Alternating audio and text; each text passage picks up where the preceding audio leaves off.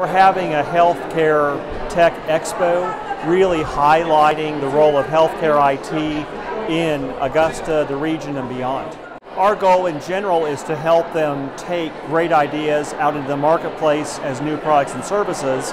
Specific to healthcare IT, what we hope to accomplish today, I think, is to not only hear more about some great ideas in the community, but to share more about how we and others can help as resources in the commercialization process. The medical field is always growing and always looking for new ways that students can learn quicker, more efficiently, and more accurately. What this entire startup does is it kind of gathers all of those minds that are working towards that same value and puts them all in one place so that students can really get engaged, see what we're doing, and work towards utilizing these things and making them applicable so the next classes and the new generations that come will be able to access this technology, use it efficiently, and make sure that it really helps streamline their education. This event really helps us show our community and each other how much we're doing in healthcare IT, not just in research and in concept, but in practice and in taking to the marketplace. So when you have these different entities and you get them all in the same room trying to solve a problem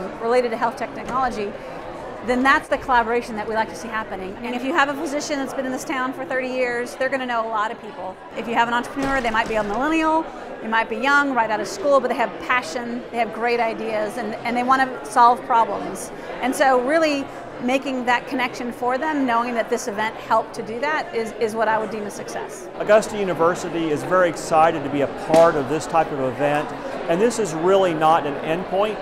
This is a point along the path. We'll keep doing these types of events in various areas with various partners to try to deepen and broaden the awareness in our community and ultimately the action resulting in new innovation commercialization.